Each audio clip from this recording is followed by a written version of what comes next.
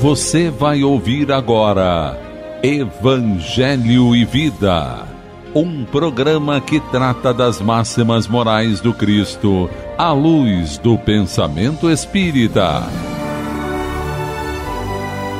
Produção e apresentação Ricardo Gomes. É com muita alegria que estamos iniciando mais uma edição do programa Evangelho e Vida nas ondas fraternas da nossa Rádio Rio de Janeiro, a emissora da Fraternidade. Nesse período de fim de ano, desejamos ao querido amigo Serafim, parceiro de programa, ao querido amigo Arcleidson Soares, responsável pelas edições de nossos programas, ao querido amigo Henrique Fernandes, coordenador, e demais companheiros da equipe do programa Evangelho e Vida, e ainda aos queridos amigos da equipe de edição, amigos da diretoria e demais amigos da produção e direção dos programas da nossa Rádio Rio de Janeiro, e em especial a você, querido e querido ouvinte, que nos acompanhou durante todo este ano. Um Feliz Natal e que o próximo ano nos traga saúde, paz, serenidade, alegria e esperança, agradecendo mais uma vez a sua preciosa audiência. O tema de nosso programa é Onde e quando Jesus nasceu? E você vai encontrar na obra Em torno do Mestre, do autor Pedro de Camargo Vinícius, grande educador espírita, editada pela Federação Espírita Brasileira, nas mensagens intituladas Cristo nasceu? Onde e quando? E Jesus e o seu Natal. Vamos agora analisar primeiro a questão cronológica que envolve o tema. Quando Jesus nasceu? Ora, Ricardo, responderão os nossos queridos e queridas ouvintes. Todos sabemos que Jesus nasceu no dia 25 de dezembro do ano Domini, também chamado de Ano Zero, ou seja, o calendário cristão se inicia no dia do nascimento de Jesus, que aconteceu há 2020 anos atrás. Só que nos livros do Novo Testamento não existe nenhuma informação do dia, mês ou ano em que Jesus nasceu.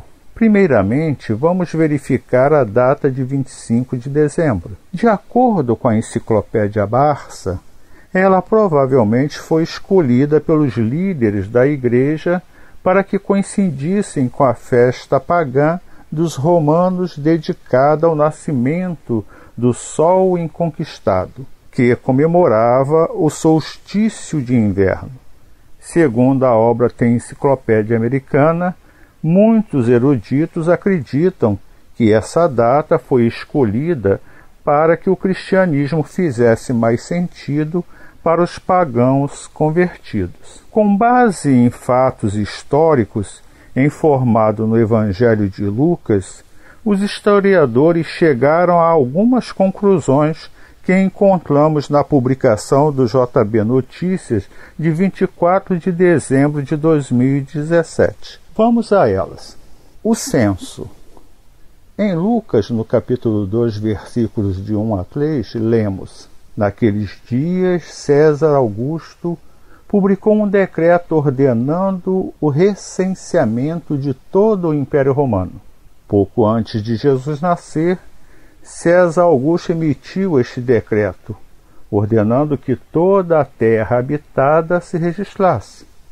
Todos tinham de se apresentar na cidade em que nasceram, como foi o caso de José e Maria, que tiveram que viajar a Belém. Em alguns casos, poderia envolver uma viagem de uma semana ou mais. Essa ordem já causaria insatisfação no povo em qualquer época do ano. Assim, é pouco provável que Augusto provocasse seus súditos, obrigando muitos deles a fazer longas viagens na época de inverno. Outro, os pastores e rebanhos no campo.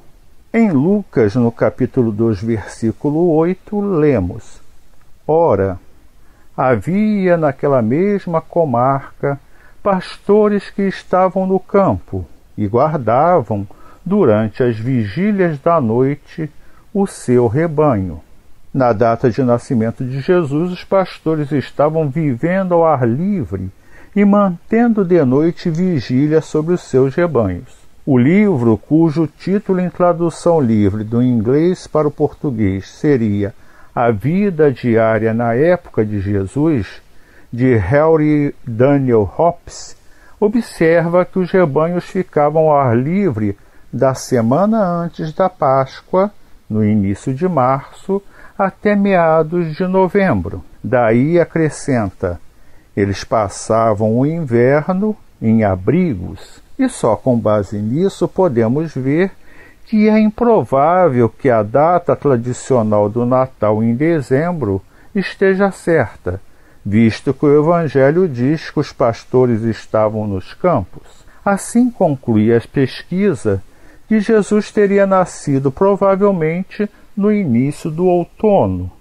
que no hemisfério norte se inicia no mês de setembro e não no inverno. Quanto ao ano de nascimento de Jesus, observamos apenas dois calendários eram utilizados entre os judeus no tempo de Jesus. O primeiro, o calendário judaico. A tradição judaica considera que a contagem de anos do seu calendário se inicia com a criação do mundo. Pelo calendário gregoriano, a data da criação a que chegaram os estudiosos corresponde ao dia 7 de outubro de 3761 a.C., ou seja, Jesus nasceu no ano 3760 do calendário judaico. O segundo, o calendário romano, cuja contagem se inicia no ano Urbis Conditae, ou ano de fundação de Roma. Pelo calendário gregoriano, cerca de 754 anos antes de Cristo, ou seja, Jesus teria nascido no ano 753 do calendário romano. Ainda encontramos mais algumas questões relativas ao ano de nascimento de Jesus. No ano 525, o Papa João I pediu ao Frei Dionísio que elaborasse um calendário com o cálculo dos ciclos pascais. Frei Dionísio, além de elaborar as datas das efemérides pascais, estabeleceu um novo calendário, em oposição ao sistema alexandrino da era diocleciana, fixando a data do nascimento de Jesus em 25 de dezembro de 753 do calendário romano, declarando o dia 1 de janeiro de 754 como o início do primeiro ano da era cristã, o ano Domini. Posteriormente, verificou-se que a data definida por Dionísio estava completamente equivocada, visto que fixava o nascimento de Jesus três anos após a morte de Herodes o Grande. Segundo Mateus, no seu capítulo 2, versículos 1, 19 e 22, Jesus nasceu durante o império de César Augusto, por volta do ano 750 do calendário romano, que corresponde ao ano 4 antes de Cristo. Entretanto, Jesus não poderia ter nascido após a morte de Herodes, que ocorreu no ano 4 antes de Cristo, pois segundo o historiador Flávio Joséfo, teria ocorrido um eclipse lunar pouco antes do falecimento do monarca.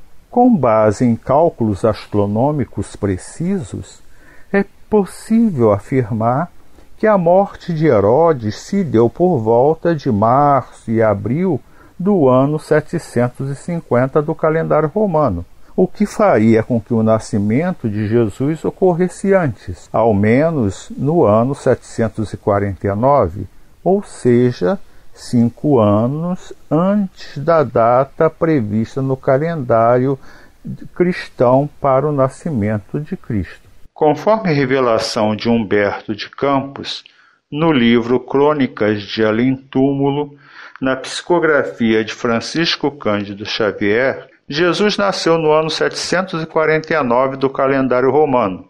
Considerando-se o primeiro ano do calendário gregoriano ou cristão, o ano em 754, segundo esta revelação, Jesus nasceu no ano 5 antes de Cristo, ou seja, cinco anos antes do início do calendário atual. Outra curiosidade sobre o calendário romano, do qual os meses foram copiados para o calendário gregoriano ou cristão, em sua versão mais antiga, tinha apenas dez meses.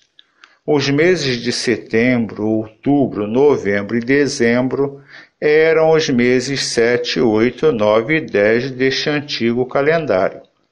Numa Pompílio, o segundo rei de Roma, instituiu um calendário com base astronômica solar, composto de 365 dias, distribuído por 12 meses. Continuou os seis primeiros meses com nomes em homenagem aos deuses romanos.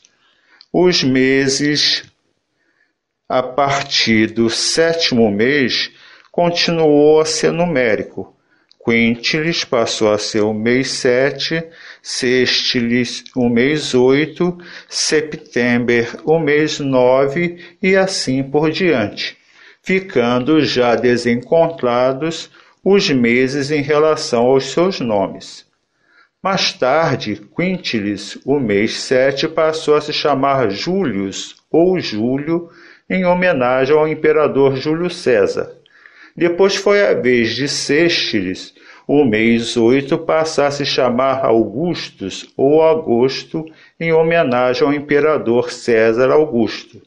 Os demais continuaram com nomes numéricos até os dias de hoje. Ou seja, pelos cálculos dos historiadores, estaríamos no ano 2024 do nascimento de Cristo e na revelação de Humberto de Campos no ano 2025. Deixando de lado as questões cronológicas do nascimento de Jesus, vamos analisar agora as mensagens do livro Em torno do Mestre, que nos fala sobre o assunto. Na mensagem Jesus e seu Natal, o autor Vinícius de Camargo traz as seguintes reflexões. Nasceu em Belém de Judá o Redentor do mundo há perto de vinte séculos. Tal acontecimento de maior relevância nos fastos da história humana, tão importante que chegou a abalar as milícias celestiais, cujo alvoroço se expandiu nesta alacre mensagem. Glória a Deus nas maiores alturas e paz na terra aos homens a quem Ele quer bem. Nascer é iniciar é dar começo a uma existência em determinado meio. Eis o fato histórico considerado em seu aspecto genérico. Particularizemos agora o advento do Messias. Que influência está exercendo em nós o seu nascimento? Que relação existe entre o Natal de Jesus e a nossa vida no momento atual? Que veio Jesus trazer à terra na parte que nos toca? Eis a questão que nos interessa de perto e que vem determinar o grau de importância daquele Natal. Se o nascimento do Redentor não é ainda uma realidade em nós mesmos, influindo positivamente em nosso caráter, que importância pode ter no que nos diz respeito? Comentando o trecho, vamos dizer que o trecho da mensagem de Vinícius nos questiona sobre a importância que tem o Natal para cada um de nós. Seria apenas mais uma festa para a troca dos presentes? Para a distribuição de presentes para as crianças feitas pelo Papai Noel? Data para enfeitar a casa, armar a árvore de Natal e preparar uma ceia farta, regada com bebidas, facilitando os exageros de toda sorte?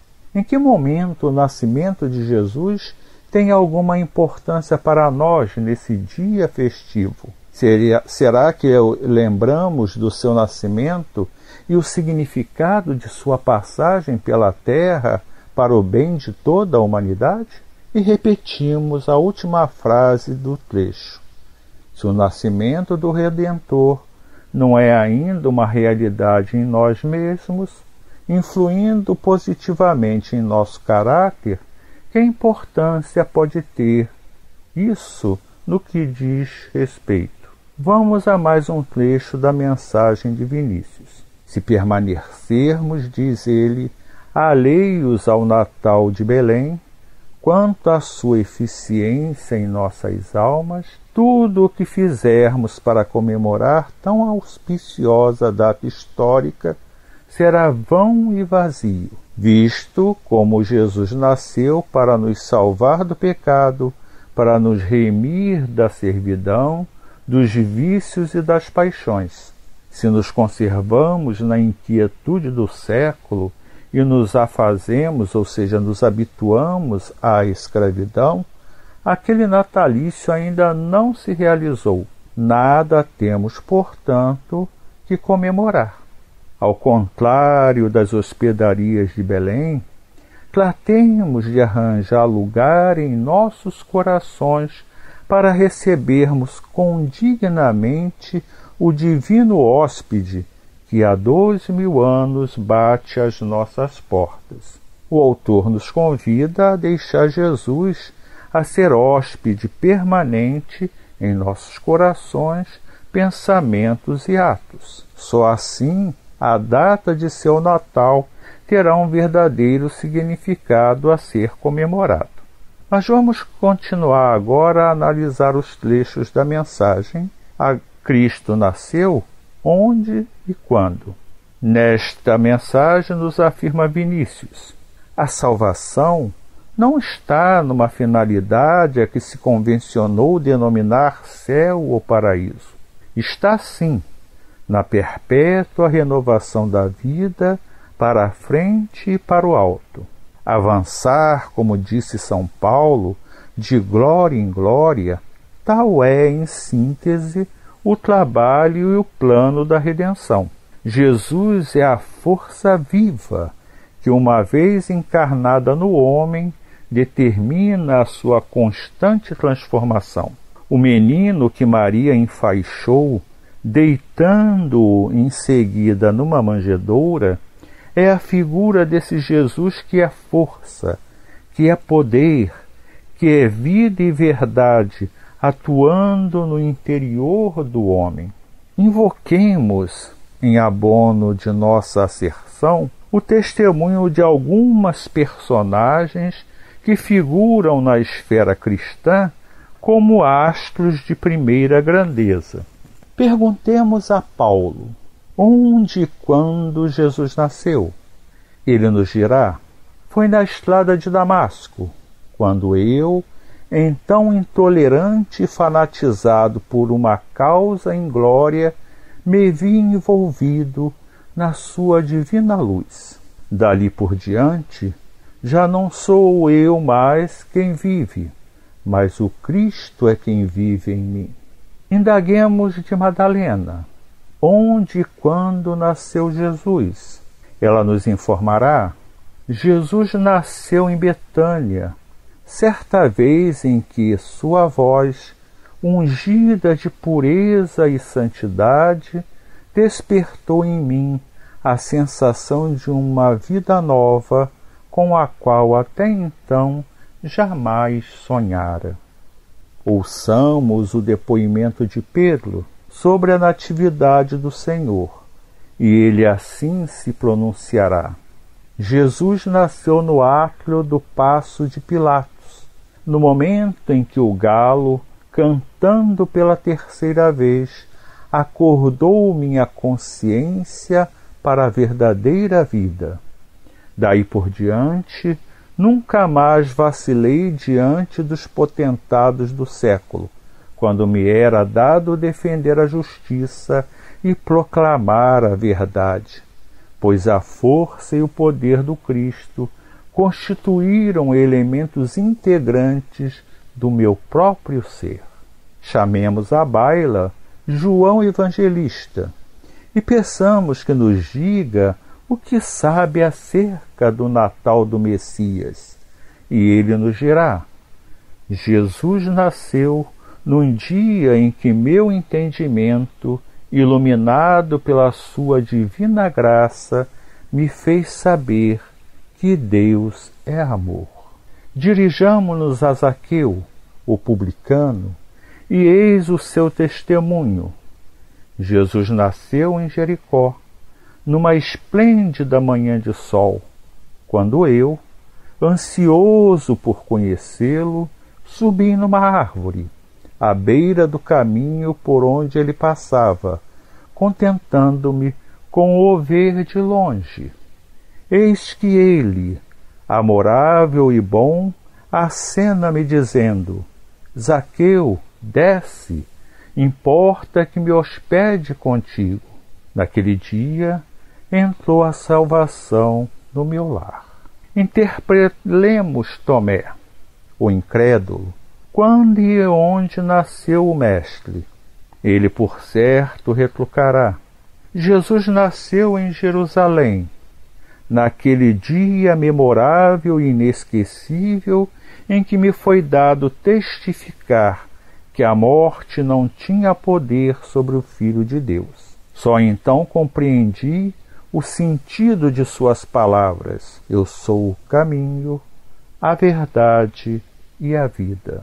Apelemos para Dimas, o bom ladrão. Onde e quando Jesus nasceu? Ele nos informará. Jesus nasceu no topo do Calvário, precisamente quando a cegueira e a maldade humana supunham aniquilá-lo para sempre. Dali me dirigiu um olhar repassado de piedade e de ternura, que me fez esquecer todas as misérias deste mundo e antegozar as delícias do paraíso. Desde logo, senti-o em mim e eu nele. E acrescentemos, perguntemos finalmente a Joana de Cusa onde e quando nasceu Jesus. E ela nos responderá: Nasceu no dia em que, amarrada ao poste do circo em Roma, eu ouvi o povo gritar: Negue, negue e o soldado com a tocha acesa, dizendo: Este teu Cristo ensinou-lhe apenas a morrer? Foi nesse instante que, sentindo o fogo subir pelo meu corpo, pude com toda certeza e sinceridade dizer: Não me ensinou só isso. Jesus ensinou-me também a amá-lo.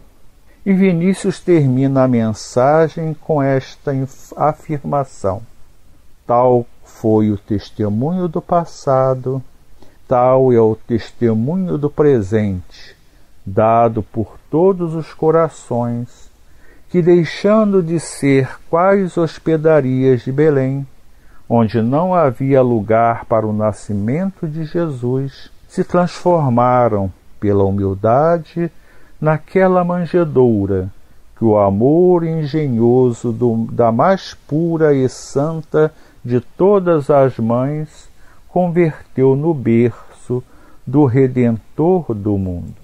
Depois dessa maravilhosa mensagem, te perguntamos, querida e querido ouvinte, onde e quando Jesus nasceu para você?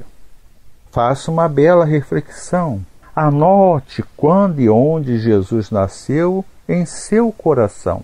Aproveite e pergunte aos seus amigos e familiares, trocando os testemunhos deste nascimento. Faça o Natal valer a pena com Jesus, o grande aniversariante. sendo o centro das conversações edificantes. Vamos comemorar o Natal com Jesus abrigado em nossos corações. Feliz Natal para todos. Com esta mensagem, encerramos o programa e desejamos a você que nos ouve muita paz, amor e muita harmonia. Lembramos que os programas são reprisados às quartas-feiras, às 17 horas, aos sábados, às 5 horas e 30 minutos e aos domingos, às 20 horas. Acompanhe a programação da nossa Rádio Rio de Janeiro. Fiquem com Deus e até o próximo programa, se Deus assim o permitir. E, se possível, fiquem em casa. A Rádio Rio de Janeiro apresentou o programa Evangelho e Vida.